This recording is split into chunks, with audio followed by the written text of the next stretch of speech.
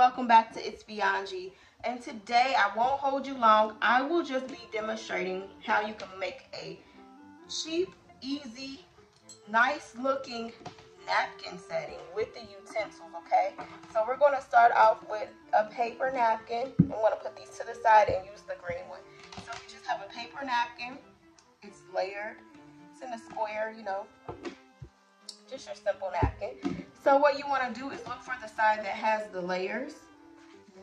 So this is the layered side. Pull that out. I'm going to take the top layer like this. The rest of the layers are right here. And we're going to pull that all the way across to the opposite corner like that. And we are just going to crease it down the middle like this. We're going to then flip that napkin. And we're going to look for one of the sides that has the fold doesn't matter which side. But we're going to take that and then we're going to fold it halfway in. Like that.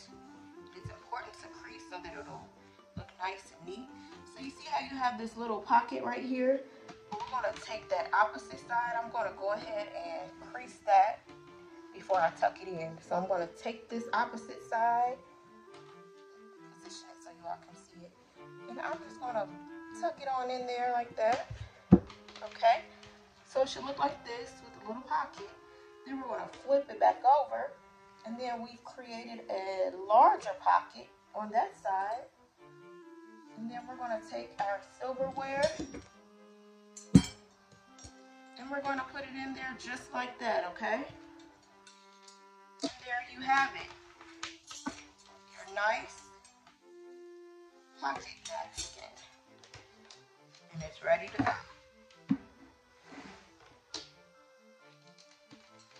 Thanks again for following the channel. Please share, like, subscribe.